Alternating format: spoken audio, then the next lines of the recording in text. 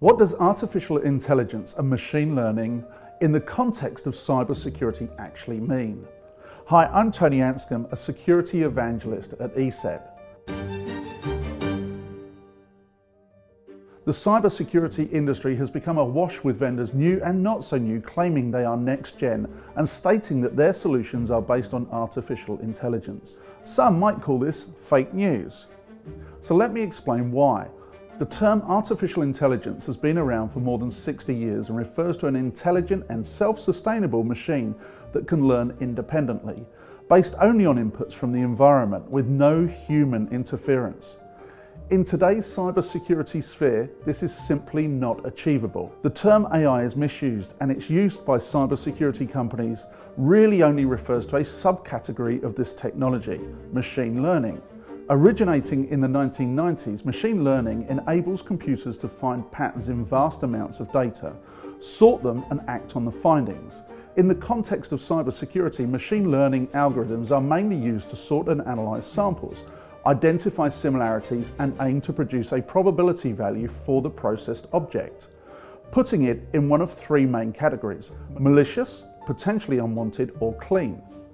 However, to achieve the best possible results, the technology has to be trained using human expertise on a large training set of correctly identified clean and malicious samples, allowing it to understand the difference. This training and human oversight is called supervised machine learning. Over the learning process, the algorithm is taught how to analyse and identify most of the potential threats and how to act proactively to mitigate them. Algorithms without the training on completely or correctly labelled data belong to the category of unsupervised machine learning.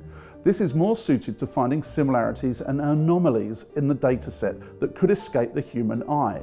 And an algorithm may not necessarily learn how to separate the good from the bad, or in this context, the clean from malicious.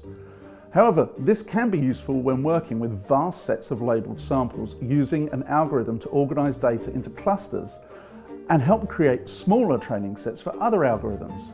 Semi-supervised machine learning falls in between these categories of supervised and unsupervised learning.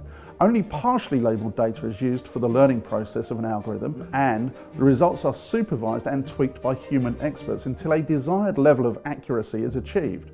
The reason for this approach is that creating a fully labelled training set is often time consuming and costly and for some problems, a completely and correctly labelled dataset may be non-existent. ESET's own machine learning engine, Augur, works on a similar basis to semi-supervised. It is used to classify items that were not part of its training set and were not previously labelled. For more tips and tricks on business and cybersecurity, come and visit welivesecurity.com.